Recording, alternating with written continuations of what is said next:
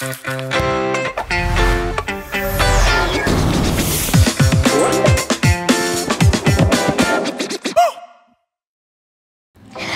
привет! В эфире программа «Дети большого толка» и этот выпуск самый-самый. Мы расскажем вам о самых высоких деревьях, самых маленьких рыбках, самых опасных вирусах и многом другом, неожиданном и захватывающем. Все для вас, наши самые-самые лучшие зрители. Самый крупный наземный хищник – это белый медведь. Весит тонну, тысячу килограммов. Его высота до трех метров. Белый медведь очень выносливый. Он способен проплыть до 100 километров без остановки. А еще у белых медведей черная кожа и перепонки на лапах. Они являются символом Арктики. Самая плодовитая в мире рыба – это рыба-луна. Она может откладывать до 300 миллионов икринок за раз. И удивительно она, кстати, не только этим. Рыба-луна круглая, сплющенная с боков. Она достигает до 3 метров в длину и до 2 тонн веса. А еще у рыбы Луны нет чешуи, и она плавает на боку. Если же задаться вопросом, у кого на Земле самые большие зубы, то здесь рекордсменом является нарвал. Его бивень достигает 3 метров. Кто такой нарвал? Это морской единорог семейства дельфиновых. Нарвал – один из самых редких и малоизученных обитателей российской Арктики, житель Ледовитого океана. Самое быстрорастущее растение на Земле – это бамбук. Некоторые его виды могут расти со скоростью до 90 см в день. Бамбук – это самое высокое травянистое растение, которое может достигать больше 40 метров в высоту. Это выше, чем большинство деревьев. А еще бамбук на растяжение прочнее, чем сталь. Россия – самая большая страна в мире. Она граничит с 18 государствами и лежит сразу в 11 часовых поясах.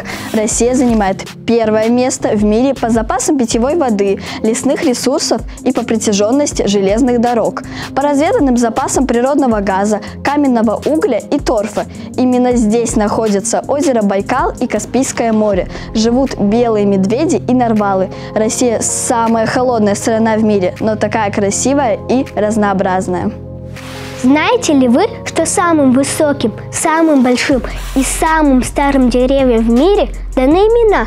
Например, самое старое дерево в мире, или лучше скажем, долгорастущее, носит имя Мафусаил. Его возраст составляет 4855 лет. Это хвойное дерево, секвоя, а названа она в честь старейшего человека, упомянутого в Библии. Кстати, самым высоким деревом на Земле тоже является секвой. Зовут это дерево гиперион. Его рост достигает почти 116 метров. Это сравнимо с 38-этажным небоскребом. При этом гиперион не только самое высокое дерево, но одно из самых больших живых существ на Земле. Сейчас мы расскажем о существе, которое может научить вас не торопиться. Это ленивец, самое медленное существо на Земле. Казалось бы, что здесь удивительного? Про ленивца мы и так догадывались, что он медленный. Но вот сейчас постараемся вас удивить. Лень – это система обороны ленивцев. Да, его лень – это, как говорится, не баг, а фича. Природа наградила ленивцев поистине гениальной защитой от хищников – очень-очень медленными движениями. Пока пумы обращают внимание на быструю добычу, ленивцы зачастую остаются невредимыми, потому что невидимы для нее. Пчелы – самые важные опылители на Земле. Без них не будет ни овощей, ни ягод, ни фруктов. И даже джинсы исчезнут, потому что они сделаны из хлопка. Не будет ни цветов, ни меда.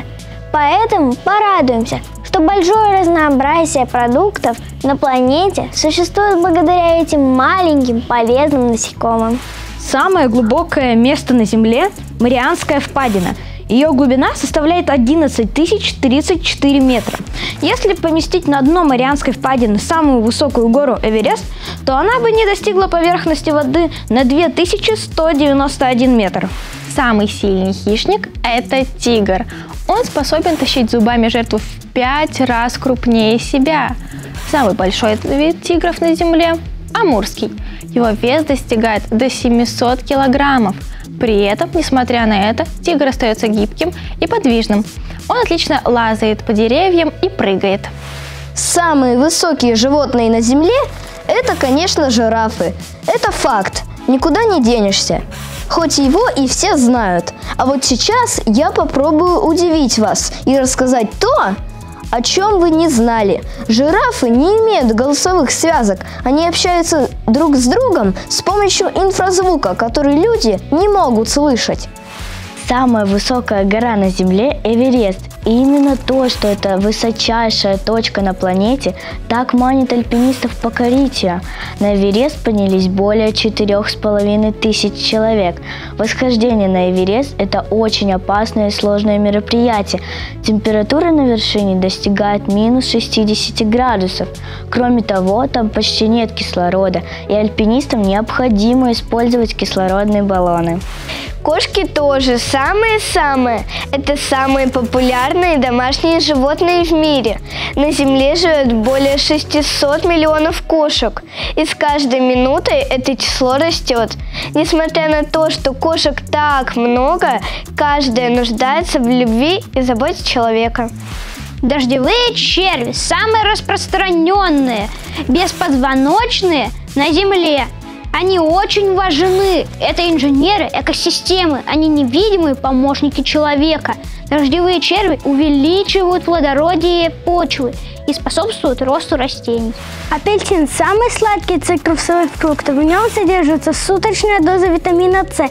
А еще это символ солнца, тепла и радости. Самый популярный фрукт во всем мире. А вы любите апельсины? Панды – мастера спонтанного сна. В отличие от многих животных, у них нет ни уютных гнезд, ни мягких кроватей, поэтому они засыпают там, где оказались в момент усталости. И если сон сморил их тот момент, когда они залезали на дерево, ну что ж, так тому и быть. Наша программа «Дети большого толка» преподносит научные факты интересно, чтобы вы тоже полюбили науку, ведь она поможет вам в учебе и в выборе профессии. Если вы интересуетесь естественными науками – вы можете выбрать карьеру в области медицины, инженерии, технологий или других наукоемких областях. Вы будете лучше понимать, как работает мир и сможете принимать более обоснованные решения. Вы знаете, что любование цветами может уменьшить боль? И если людей просят нарисовать что-нибудь красивое, то чаще всего они вспоминают именно о цветах. Почему так происходит? Март знаменует собой начало весны, а тюльпаны – одни из первых цветов, которые распускаются после долгой зимы. Тюльпаны радуют глаз своим богатым спектром красок, от нежных розовых и белых до насыщенных красных, желтых и фиолетовых оттенков. Оказывается, что тюльпаны можно ставить не только в воду, но еще и в снег. И это не только не повредит цветам, а поможет им дольше прожить. Почему? Тюльпаны могут выдержать температуру до минус 10 градусов, а холод замедляет процесс распускания цветов. А вы знали, что тюльпаны перед тем, как попасть на витрину, хранятся в плотной упаковке, на сухой срез, да еще и в темноте? Почему в темноте? Потому что так замедляется процесс фотосинтеза и бутоны распускаются медленнее. А сухой срез замедляет испарение воды у стебля и у тюльпанов продолжается жизнь. Представляете, тюльпан продолжает развиваться и расти, даже когда уже находится в букете. Это происходит потому, что в стебеле тюльпана содержится много воды. И даже после того, как срезали тюльпан, вода продолжает поступать к бутону, а тюльпан продолжает развиваться и расти. Продолжаем телекнигу рекордов. Африканский страус является самой крупной птицей на планете. Он может достигать 270 сантиметров в высоту. Это почти 3 метра. А весит эта птичка 150 килограммов, как 5 первоклассников. Неудивительно, что в переводе с латыни научное название этой птицы – воробей-верблюд. Кто на свете самый зубастый? В голову сразу приходит акула. Но тут как это неудивительно, на первом месте в мире стоят улитки. Да, именно они – самые зубастые существа на планете. Зубчики на их языке очень острые и похожи на клыки. Они образуют ровные ряды. Количество рядов различается в зависимости от вида и может доходить до 135. В каждом ряду может быть до 100 зубов. Соответственно, количество зубов может доходить до 15 тысяч. Знаете, кто самые чистоплотные насекомые? Думаете, муха? Потому что она постоянно трет свои лапки? Да, муха умывается до 100 раз в минуту, но чемпионы по чистоплотности – это муравьи. Они постоянно облизывают себя как кошки, при этом их слюна антибактериальна.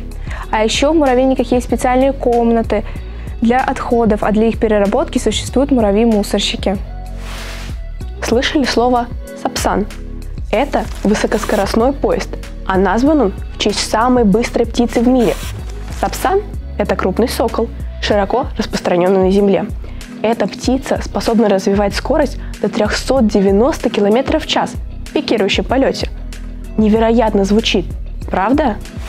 В номинации «Самое живучее растение» побеждает силогенелла или воскрешающий мох. Это растение живет в пустынях Мексики и может прожить без воды до 100 лет. Думаете, это кактус? Вовсе нет. Это лесовидное растение. Как же оно приспособилось к пустыне?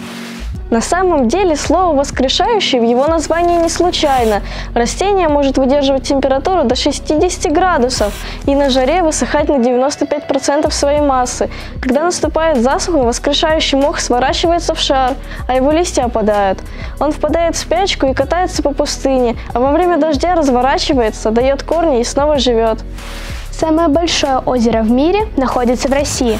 Это Каспийское море, название которого намекает нам на прошлое данного водоема. Около 11 миллионов лет назад Каспий впадал в океан и действительно являлся морем. Каспийское море – это массивное соленое озеро, размеры которого равны Японии. Кстати, самое большое пресное озеро на Земле тоже в России, рядом с нами, в Сибири. Это озеро Байкал. Оно содержит 20% всей пресной воды на поверхности Земли. Причем вода эта настолько чистая, что зимой сквозь толщу метрового льда можно увидеть подводных обитателей озера. Смотрите, какой красавец, снежный барс или ирбис. Он побеждает сразу в нескольких категориях. Это самый высокогорный хищник.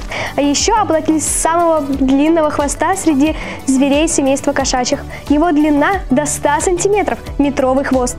Он помогает барсу балансировать на скалах. Ну и, конечно, среди самых-самых очень много крыс. Во-первых, потому что это самые многочисленные грызуны на планете Земля. Они же самые адаптивные и обитают во всех уголках мира благодаря своей живучести. Одна крыса способна привести потомство до 12 крысят 6-8 раз в год. А еще они очень сообразительные. Самое крупное млекопитающее – это синий кит. Его длина достигает 30 метров. Вес 180 тонн. Много ли это? Давайте представим. Его вес равен 30 слонам, а сердце размером с легковой автомобиль. На сегодня это все. Но наша редакция уже готовит новый выпуск. В нем вы узнаете много интересных фактов из биологии, географии, астрономии. Любите науку, узнавайте новое. Мы вам желаем только отличной погоды и отличных новостей. Увидимся через неделю. До встречи! Thank you.